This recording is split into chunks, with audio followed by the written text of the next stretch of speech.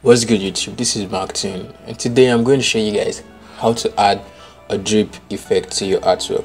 Before we go right into creating the drip effect, you need to understand that this tutorial is meant to be simplified so I won't be taking an extra step or going forward to doing something else that it's really going to make the video to belong or that's really going to be more complicated. Well you can do that yourself if you get the idea but i'm just going to simplify everything and this is just going to be strictly on one method.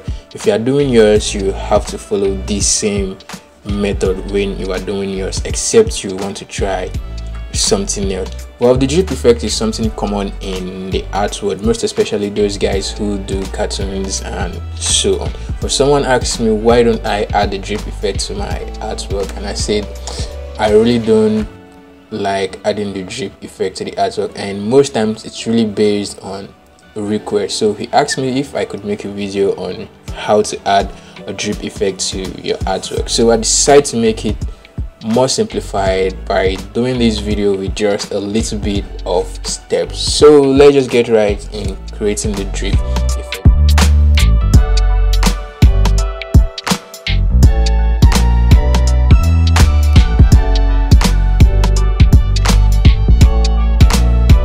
so i have my artwork right here and make sure you put your artwork on a transparent background or if you're making use of an of, a, of an image you can go ahead and make use of that image. It's really really fine. And if you want to get the drip effect check the link in the description.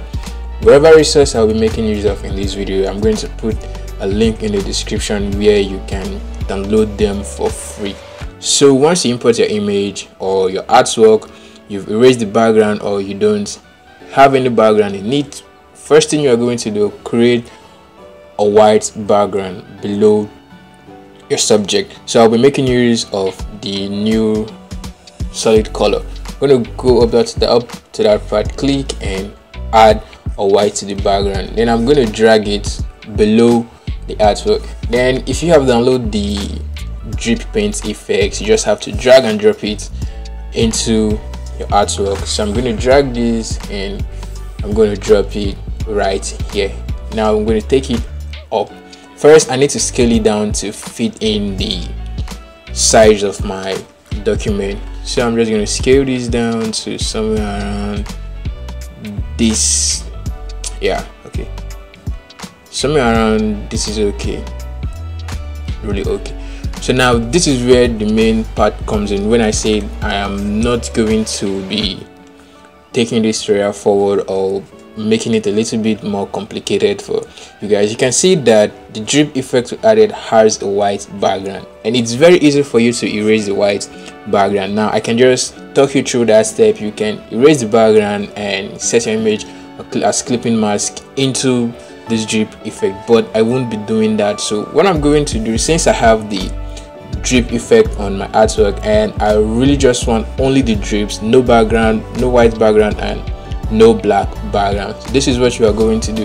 Head over to your blend mode and since we want to make the black transparent and we have a white background so the blend mode for making a black transparent or making something like is the word the screen. So when you set that to the screen mode you can see that the black has been taken away. It's now blending in with your artwork or your image or photo whatever one you have right there so now it's time for you to make adjustments once you are when you are done once you are done with all this process. So i'm going to make adjustment to the way i really gonna like it to be. So like this is really okay for me because looking at this part it has a beginning and here also has a beginning and an ending. Oh let me just see if i can make it.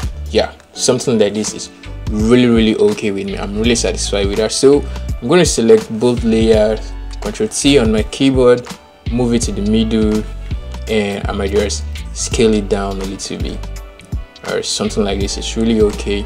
Now I'm hit on OK so the next thing to do below the background and your subject or your artwork you got to create a new layer between those two layers. Now grab the brush to you already have the brush which I put in the link in the description this splatter brush. So grab the brush tool by hitting the B key on your keyboard then you can go to your brush palette and select one of the splatter brush which you just downloaded.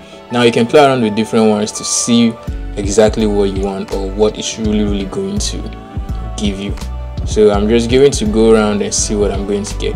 So i think i'll be going with the 10 if possible. So i'm just going to try and see. And i'm going to decrease the size. Now i'm going to pick from the artwork now you want to take out your time to apply this to make sure it's really accurate to something that it's going to be awesome for you. Now if it's not really making sense or you can't really make use of the splatter brush you can just go ahead and google some splatter effects and they're going to give you you can just grab it and make use of it in your own work. It's really really going to be easy for you.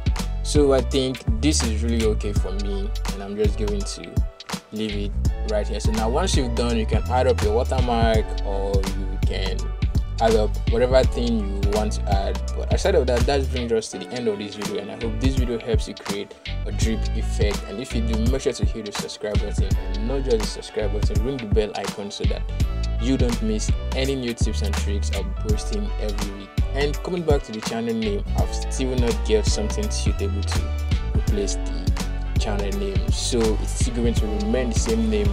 For the time being till i finally figure out what i really really want to change that to. But anything i said of that see you guys in my next video and make sure that you have a nice day